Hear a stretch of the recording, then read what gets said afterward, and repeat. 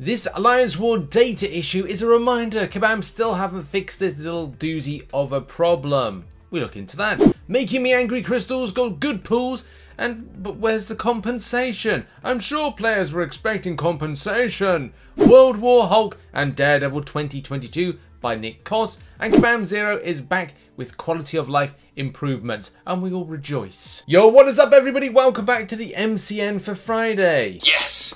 Control my brain, Mistress Bob. I'm just using your app. He has an app. So help me, Bob. I will in your litter box. We don't have a litter box. Not even Frank has a litter box. Where are you pooping to? I think my follow-up question should have been, how are you pooping? Because he's just ahead. And I don't need a follow-up Drax-based one. When are you pooping? Because that people have their own cycles for I don't know what I'm doing. Let's get into some news, shall we? Like, subscribe, all that stuff. Do that thing now. Now, firstly, as a lot of you know, the Alliance War season is in full swing. The second time it's tried to get in full swing, and it's swinging well. But in any case, there is and are a few bugs going around, and there's one in particular that is a war rating and diversity information bug.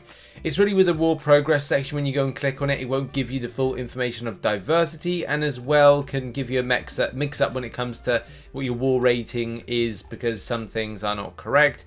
Uh, and Kabam's kind of response to this is that uh, this one's pesky, but it's entirely a visual bug but uh, after the war it should present the right value so you get the right values then there's still a lot of stuff that needs to be sorted out with alliance wars it's just an ongoing thing even me returning back to it after two years it's kind of like it's it's just the same as it scuffy was when i i left back when i did but uh, hereby, um, the grace of carrying on, uh, we uh, you know we see what happens. Hopefully next season there'll be kind of like some improvements. Kabam will actually get it sorted. But for the time being, don't fret, don't alarm. Apparently it's visual. Speaking with the subject of Alliance Wars, and shout out to Cat Murdock, link is in the description to this right here.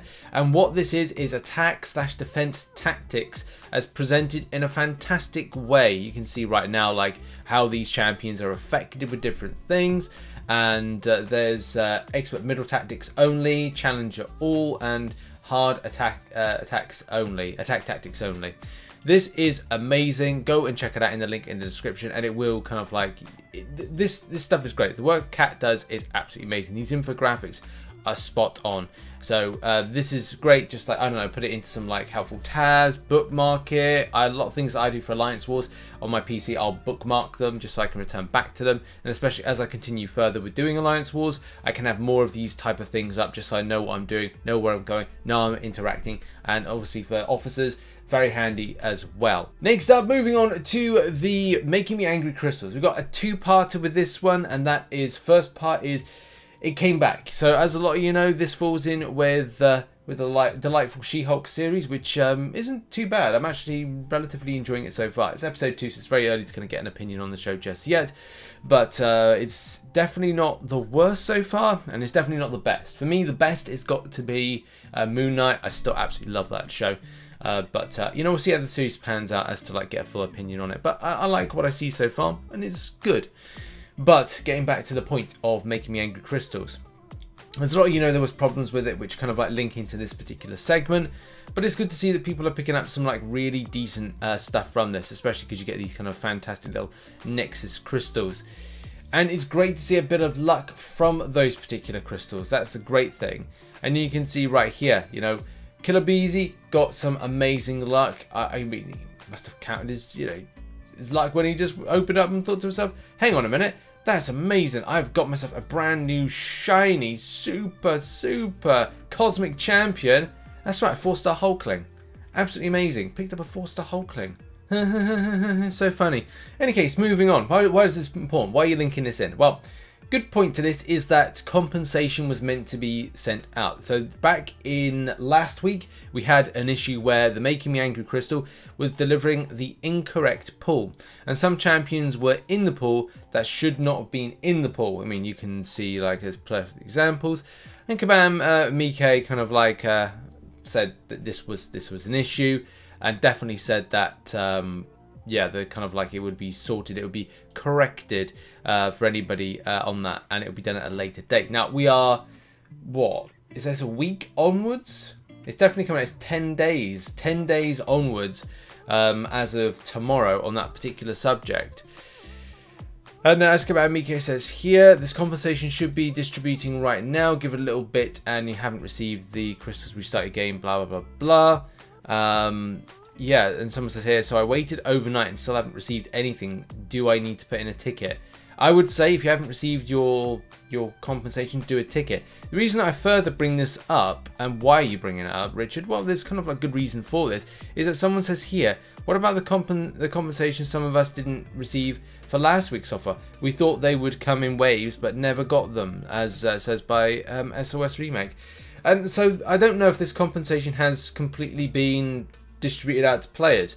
And I would say at this point, if Kabam Mike in a previous post that said that this is going to be distributed out and hasn't been, raise a ticket because you know you bought those those crystals thinking it was going to be one thing and it turned out to be another. So yeah, do do a support ticket for that. Next up, Nick Coss does a fantastic World War Hulk. I mean, there's a few other characters done here which I need to kind of like raise and talk about. But the first thing is World War Hulk. If you saw episode 2, you know there's a slight teaser for this. And uh, wow, look, there's a thing, Future Foundation. So I love what Nick does because Nick seems to put in like, loads of different other characters that are just kind of like you just don't expect. So there's a thing Future Foundation, and also kind of going back to right at the very start, there's an Andrew Garfield. One thing that like Nick does is the attention to detail because this is very much similar to the body body type or body body structure and as well kind of like um, position, feeding position that Andrew Garfield has as Spider-Man. Uh, and especially like, you know, when he's kind of like, he's there. The shape as well for the head is on point. So there's these little kind of like attention to details that are really good. Nick also decides to put in a little bit of a, a Daredevil uh, 2020. So this is from uh, like She-Hulk, uh, which has got the uh, the yellow and yellow and burgundy, which you can see on screen right now. I'm really looking forward to seeing this coming to the episode as to like how it uh, impacts in the series and also for, you know seeing how it impacts the character Daredevil because the last time we left Daredevil he wasn't in a good state. He wasn't in a good state at all. So I want to find out like what the what is kind of like the deal with that. In any case World War Hulk done by Nick Coss. Fantastic work. Link in the description to his work. Now we end with the final story talking about quality of life improvement. So there's been many kind of like calls for things that are just not working when it comes to quality of life how you claim things and how it doesn't really kind of go down to the rewards and how it's been a bit of a problem and Kabam Mike said that this is going to be uh, addressed in a future update. We're saying this will be addressed in a 36.3. The claim button should take you to the correct spot when the fix goes out. Thanks for the suggestion. So that's going to be in in the next update.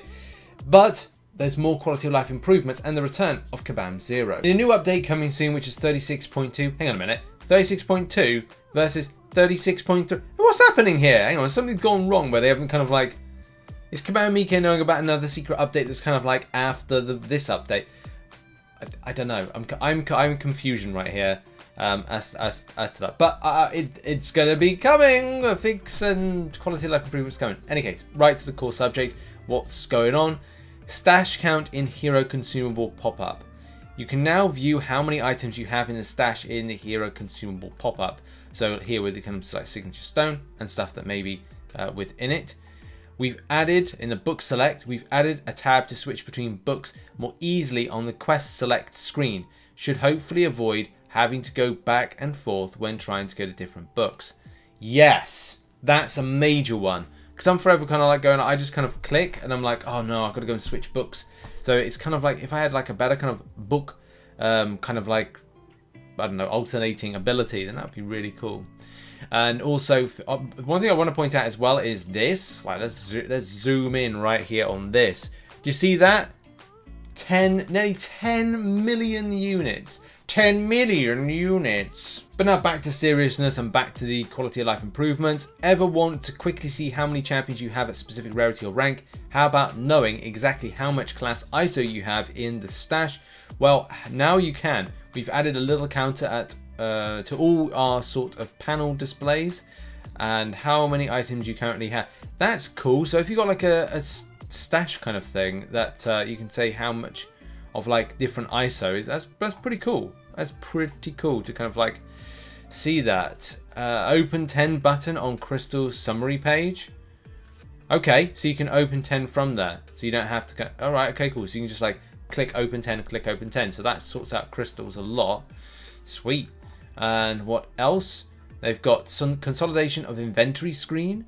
So we've moved the Catalyst ISO and inventory screens all to, into one screen for more straightforward navigation. Good. Okay, this means that there will no longer be a landing screen and, we'll, and clicking inventory, the top bar will bring you to this screen. Each screen will have to have separate tabs. Oh, wow. Look at that. So I'm just going to get this kind of like zoomed in for everybody. Oh, wrong one. There we go. Look at that. That's incredible. So you're able to, to differentiate them from different places. Wow. Honestly, that's spot on. Especially with the, the amount of crap that you literally have to go through in your inventory. That is so streamlined.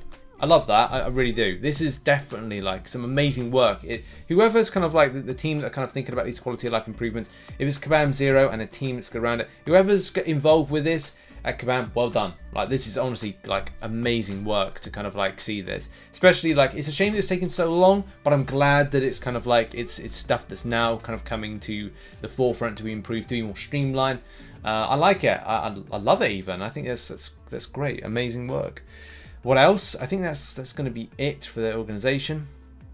Buff, node pop-up available from pause menu and fight summary. Okay. Um, oh wow! Oh, that's that's really good as well. One thing that I've had always a problem is sometimes I might go into something and like not properly read the notes. I mean, like we've all done it. So having those have ability to pop them up, and that's going to be right there, which you can see. So if you click on to right then center of the screen, uh, just above music, then you can click on that and you can see the nodes, which, you know, obviously presented in uh, what we saw on screen right now. So you'll be able to kind of go down that and see the active buffs. That's great. And this is what it will look like in a fight summary. So you get as soon as the fight summary ends, you're able to see it. So that's, again, amazing. Amazing work. Yeah, I'm really excited. For, these quality of life improvements have been great. I love the energy over 71 thing. I love so many other things like sorting out the way that you've got rank up gems for different years and other things like that. Man, honestly, I should give it an awesome right there because it is awesome stuff. Yeah, this is. I think this must be my favorite quality of life improvements that have been put in in a long time. Especially with this, the book, uh, the signature, like knowing what's in your inventory. It's great.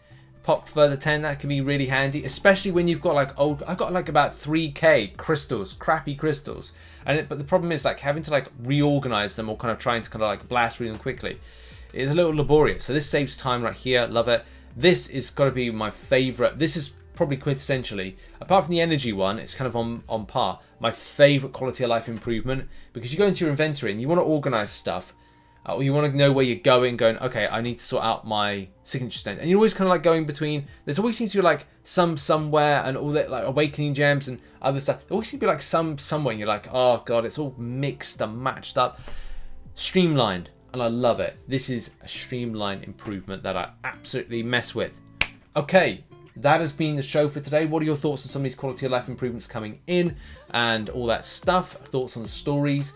And uh, thanks for coming by and watching. Thank you as well to those that support the channel as a YouTube member and as a patron. You're on screen right now. Thanks to those that support on twitch.tv slash richthemanlive. I should be live streaming later on today whether or not I'm doing MCOC. I don't know if it's going to be here on YouTube or Twitch, and then Fall Guys later on in the evening where I go and solidify more wins. If you want to see me go and win, then come by because we get wins. And finally, do please check out some of the content on screen right now. Don't know if Kabam are going to announce anything later on. We'll have to see. If not, um, you have a lovely weekend, whatever you're doing. I may post another video today. Haven't really decided on anything, but we'll see. Cheers, everybody. Have a good one. Bye-bye.